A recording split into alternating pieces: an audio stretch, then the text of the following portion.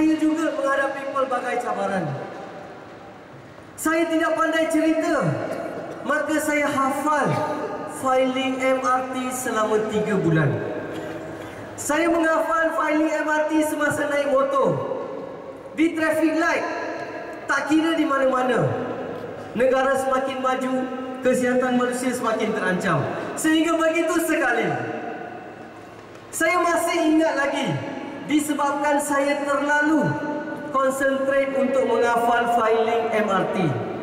Saya sepatutnya perlu hantar isteri saya ke pejabat beliau. Tapi saya tersalah hantar ke post office. Itulah saya pada masa itu. Dan saya masih ingat lagi. Masa itu saya tidak mempunyai wang untuk mengisi minyak kereta. Tapi saya berani. Saya berani memandu kereta dari Melaka ke Kelang, dari Kelang ke HQ. Maka dalam perjalanan dari Kelang ke HQ, kereta saya yang penuh dengan prospek tiba-tiba berhenti. Tak ada minyak.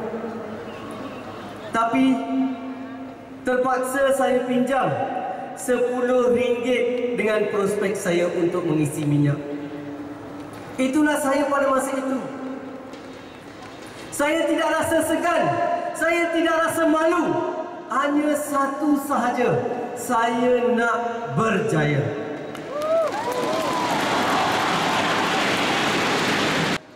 Saya ingin menghadiri latihan berpidato. Tapi saya tidak mempunyai wang. Saya tidak mampu nak bayar RM250. Saya tidak putus asa. Saya menggadaikan gelang tangan emas isteri saya. Saya masih ingat lagi semasa beliau memberikan emas itu kepada saya. Andy, ini adalah untuk masa depan kita.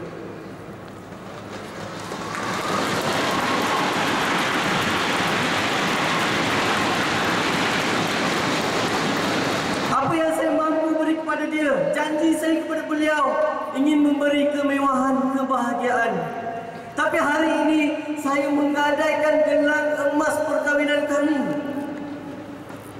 Tuan-tuan dan puan-puan, pada permulaan di Elkan, selama lima tahun, pendapatan saya tidak pernah melebihi RM5,000. Sejak tahun 2009, pendapatan saya mula meningkat.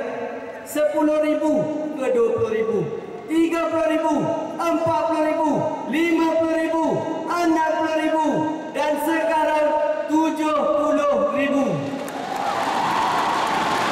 Dan pasti akan meningkat lagi. Yang pasti saya mencapai MCCN saya pada tahun ini.